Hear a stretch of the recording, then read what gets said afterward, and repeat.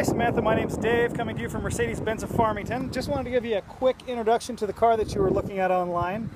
We just took this car in on trade on Saturday. I took the car in personally. I know the original owner. It's in great shape.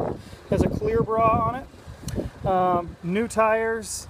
The interior is just perfect. Um, sound system has the Meridian speakers. Really nice on the inside.